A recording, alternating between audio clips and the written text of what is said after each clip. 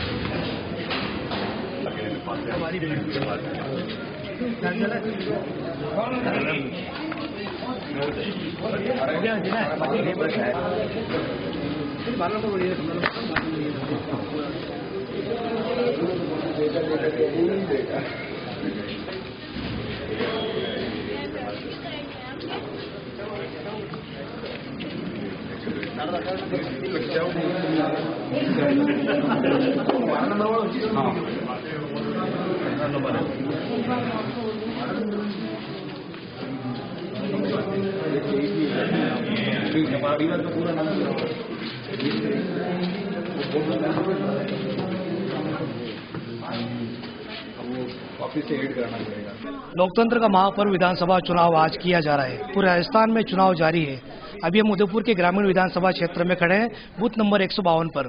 सुबह से महिला पुरुष और बुज़ुर्ग यहाँ पर वोटिंग करने आ रहे हैं। चलिए हम जानते हैं सबसे पहले यहाँ पर कुछ लोग खड़े हैं कि वो समय निकाल कर यहाँ पर आए वोट करने के लिए। क्या सोचते हैं वोट करने आए जी सर हम यहाँ वोट करने के लिए आए हैं और हम वोटर आईडी और सब अपना लेके आए हैं और अच्छा लग रहा है हमें वोट करने में। कितना उत्साह है? हमें बहुत जोश है। हम सुबह से ही तीन बार चक्कर काट चुके हैं यहाँ के। सुबह आठ बजे से पहले आगे हमें पता चला आठ बजे से वोटिंग स्टार्ट होगी। तो हम अभी आए हैं और हम वोट डालेंगे और हमें बहुत अच्छा लग रहा है। क्या अपील करना चाहेंगे मतदाताओं से? मतदाता से ये कहना चाहेंगे कि आप अधिक से अधिक संख्या में पधारें और वोट डालें अपना मताधिकार का प्रयोग करें अच्छी सरकार का चयन करें जिससे कि हम सभी को पाँच साल तक अच्छा अच्छी सरकार के अच्छे फ़ायदे मिल सके। यही मेरी सबसे अपील है। हमारे साथ यहाँ पर कुछ बुज़ुर्ग लोग भी है जो सुबह सुबह समय समय में से समय निकाल कर आए और वोट करने आए आइए, जानते हैं वो क्या सोचते हैं अगले पाँच साल की सरकार के बारे में। हाँ जी, मेरा नाम नरेंद्र नागुरी है।